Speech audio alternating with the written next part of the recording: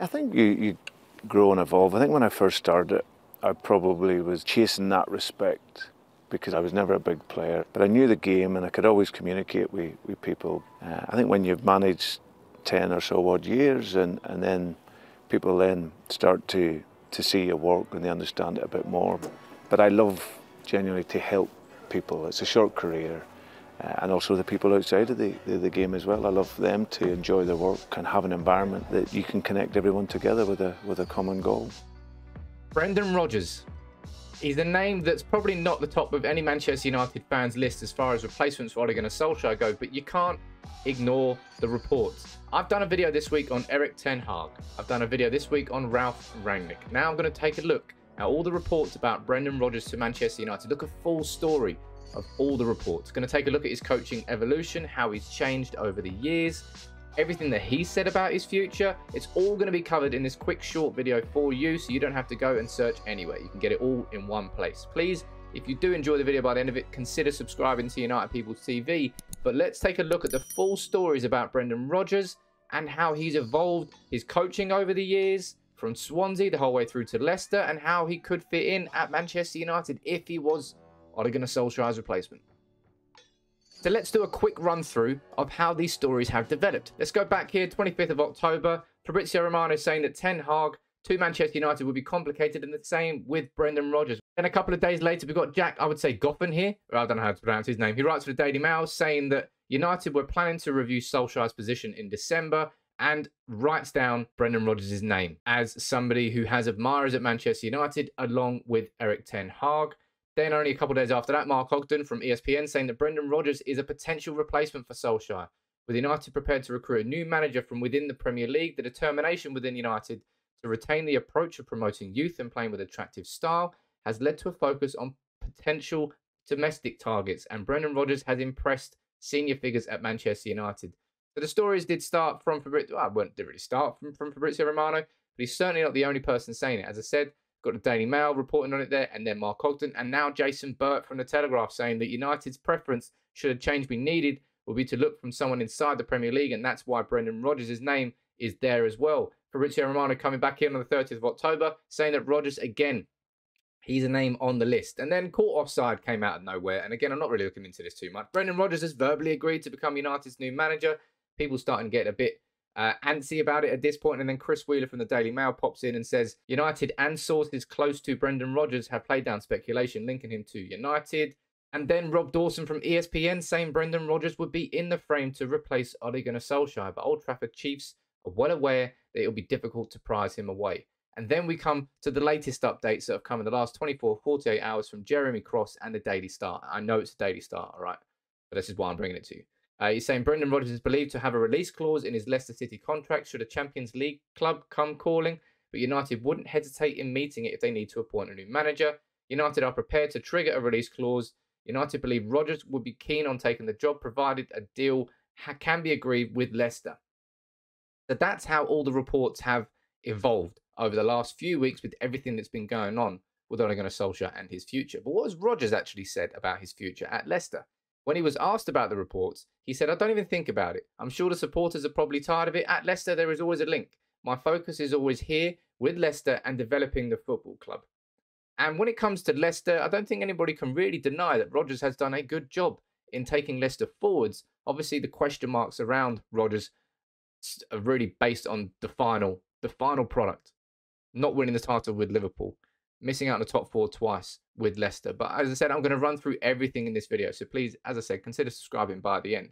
But let's take a look at Brendan Rodgers' career to date. As I said, look, he's won the FA Cup with, um, of course, Leicester. He's won a few SPL titles. He's won, he's won, he's won a fair few trophies, but not the trophies that United fans would obviously consider the most important one. And then if you look at his managerial career, he started off at Reading as the assistant, went through Chelsea's. Of course, that's where uh, Jose Mourinho worked with him. And then he went to Watford, he went to Reading, Swansea, Liverpool, Celtic, and now he is at Leicester.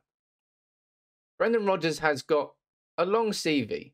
Uh, he he was a player who didn't really play much, and that's why he moved into coaching very early on, and that's why he was able to, I suppose, have this young career in coaching to be where he is right now with the experience he has. By comparison of a lot of other people, He's years ahead in that sense. But what would Brendan Rodgers actually bring to Manchester United? What would his footballing style be? I thought this little clip from an interview with Brendan was quite important. I think when I first joined Sam, it's given clarity around the vision and, and what it is we want to achieve, the, the fundamental principles of how I work. I always do a presentation with players to outline our purpose going forward. But fundamentally, it's, it's how we press and, and organise the game in that moment, then that will dictate our, uh, our offensive game because United certainly needs somebody who can come into the club with a vision, with a plan, a prepared plan, a set of coaching staff who know what they're doing, who's done it at different clubs. And his tactics have evolved over time. What we're going to do now is take a quick look at what he did with Swansea, with Liverpool and Celtic and Leicester, and how that's changed. Because if you go straight in reverse, go back to Swansea, that's where he earned a lot of plaudits. And he really did stick to a 4 3 3. It was kind of like a tiki taka style of play that really shone at Swansea. Sigurdsson there playing a little bit more aggressive, but he did drop down into a midfield three with Britton and Allen. And if you look at how he changed when he went to Liverpool, it just got better players. That team that Liverpool had that season was Sterling, Suarez, and Sturridge, Henderson, Coutinho, and Gerrard behind them in the middle. It was a very fluid team, very good in and out of possession. And that's something that happened with Brendan Rodgers over time. And that's something he's actually said in his own words about how his own tactics and his own coaching style have evolved. I think when I was a young coach, everything was with the ball, and then the, the more the more experience I gain over the, the years, then it's uh, it's always in balance. You know, we I like my teams to create goals and attack. Because you can see it in the stats as well. Take a look here. If you look at how much possession he had at, at Swansea as a manager and how that over the years started to go down, Brendan Rodgers, he's he's actually said it himself quite a few times. He he he started off with this not obsession, but that's how he played football 4-3-3 with the ball, tiki-taka, possession-based football. But over the years, as football has changed, his tactics have evolved, and he started to move away from this uh, obsession with having the ball all of the time, and then going towards being important out of possession. And again, that's something that you can see at Leicester now for sure and it's something that's very important. It's a fundamental for any coach in the modern day coach, and it's something that United are very bad at.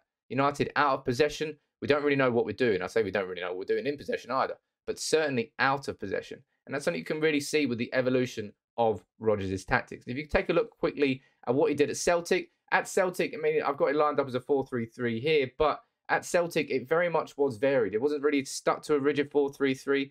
He did use 3 4 1 2. He did use different formations in different situations. And if we fast forward now to Leicester, obviously the best example we can, I say best example, the obvious example we're going to use is the game against United. They lined up with a 3 4 1 2 and they played us off the park. We saw in that game what Leicester City are capable of under Rodgers. Obviously, United having no press inside that midfield allowed allowed Leicester to really just dominate the game, and they did dominate the game. Tielemans in particular had a free run. But of course, it's not the only formation that they use. You go down and see what they did against Leeds, and they used a 4 3 3. So there really is some tactical flexibility to Brendan Rodgers, his style of football, and it's something that he does reiterate. I think well, probably when I was a younger coach, I was maybe very fixed on one in terms of 4 3 3. But as I progressed through my, my career, and I think the evolution of the game going forward in particular will be about tactical flexibility, denying space, creating space, having overloads in, in midfield. I like to think there's a flexibility around my teams that allows us to create and, and defend well. Because Brendan Rodgers is, is somebody who now doesn't really stick to the 4-3-3, doesn't really stick to the 3-5-2. It's more about the overall and overarching philosophy and coaching rather than the actual formation that the players are in. And I know that this Brendan Rodgers to United story is something that doesn't leave a lot of United fans excited. And I'll be honest, I'm one of them. Is Brendan Rodgers really the man that's going to take this good Manchester United team to become great? Is he going to be the man that really wins us the Premier League and wins us the Champions League when again he doesn't have experience of doing both of those? Is he just another example of a man, a better version maybe of Ole Gunnar Solskjaer when he comes in in terms of the experience he has, but somebody who would be learning on the job to try and compete with Manchester United? Yeah, you could argue that. I suppose you could you could argue that with Ten Hag. You could argue that with pretty much any manager. Conte would probably be the only one that you couldn't argue that with that with. But with Brendan Rodgers, certainly, if he comes in, I tell you what, Brendan, you can bring like half the Leicester team with you. Definitely bringing Tielemans in, bringing in Ndidi, bring Harvey Barnes. They're the ones off the top of my head. But Brendan Rodgers is somebody who clearly is going to divide opinion. I was considering whether to do this video this week or not, and I let it lie. But then more stories have continued to develop, so it'll be wrong of me to not do one. And that's why I did this video to try and be as objective as possible about all the candidates that are being lined up. As I said, I don't see these videos, this video series I'm doing this week as disrespectful to Solskjaer. I think Man United should be doing, we should be planning like this. We should be looking at all the options objectively, weighing them up and seeing which one's best. Now, I've done my video on Ralph Rangnick and how he could be an incredible short term appointment, maybe with Ten Hag looking in the long term. And then I looked at Ten Hag in terms of actually how the stories have reported, and you know how I feel about Ten Hag. I think it'd be incredible to bring him in in the summer, but I don't think he's going to leave. But at the same time, Steven Gerrard has gone to Aston Villa now. So it goes to show that if a club wants someone, why can't United do that with Ten Hag? It's a fair question from a lot of you. But what do you think about Brendan Rodgers? In this video, I've showed you a, a little bit about of how his coaching has developed over time, how he approaches the game. And clearly, with Brendan Rodgers, whether or not you think he's right for Manchester United, clearly he's a very good coach. Clearly, uh, he's done it at multiple clubs. He really gets along with the players, has a clear style that he wants them to play in, and is happy to adapt and evolve over time as football changes. That's a very important aspect of a good coach, somebody who's not just stubborn in his own ways and can see how the game is changing and goes with it. And that you have to give Rodgers credit for. But do you think he's the right man for United? You let me know what you think about that in the comments below. As I said, I've taken a look at Rangnick now, I've taken a look at Ten Hag, and now I've taken a look at Rodgers.